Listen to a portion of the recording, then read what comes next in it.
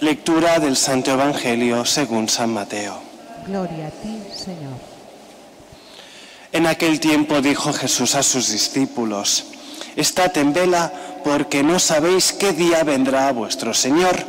Comprended que si supiera el dueño de la casa que hora de la noche vendrá el ladrón, estaría en vela y no dejaría que abriera un boquete en su casa. Por eso, estad también vosotros preparados, porque a la hora que menos penséis, viene el Hijo del Hombre. ¿Quién es el criado fiel y prudente a quien el Señor encarga de dar a la servidumbre la comida a sus horas? Bienaventurado ese criado si el Señor al llegar lo encuentra portándose así.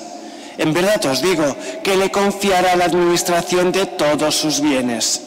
Pero si dijera aquel mal siervo para sus adentros, mi Señor tarda en llegar, y empieza a pegar a sus compañeros y a comer y a beber con los borrachos el día y la hora que menos espera, llegará el amo y lo castigará con rigor y le hará compartir la suerte de los hipócritas. Allí será el llanto y el rechinar de dientes. Palabra del Señor. Gloria a ti, Señor Jesús. Podéis sentaros. Pues hemos leído que hemos sido enriquecidos en todo, en toda palabra y en toda ciencia. Y esto es posible gracias a personas como San José de Calasanz, que se preocupó tanto por fomentar una educación cristiana. Él fundó las escuelas pías. Pero, ¿qué es una educación cristiana? ¿Es enseñar muy bien matemáticas y filosofía y álgebra y literatura? ¿O es algo más?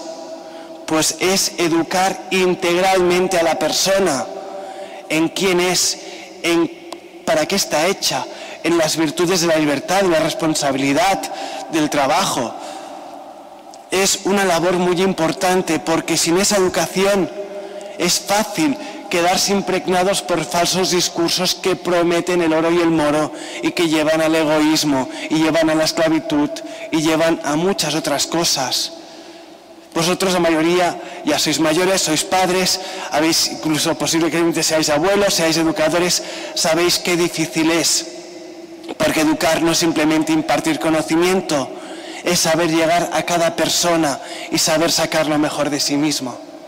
Y eso requiere mucho amor, requiere mucha paciencia, requiere mucho sacrificio, requiere mucha ayuda de Dios. Y esto que hoy se aplica a los educadores, la Iglesia dice, que en primer lugar y sobre todo pertenece a los padres. Los padres, algunos, lo típico que se dice, mira, yo pago un dinero, lo llevo al colegio y ahí que me lo eduquen. Eso no es paternidad. La paternidad se vive también en casa dando ejemplo y dedicando tiempo a amar a ese niño para que se sienta importante y aprenda lo que es.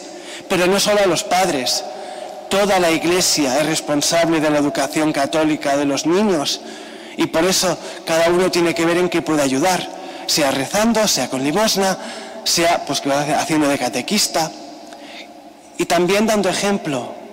Todos somos responsables que hoy haya niños que sean educados en el respeto, en el amor, en la fe, no solo como cerebritos ni como robotitos que cumplen preceptos, sino como personas amadas por Dios.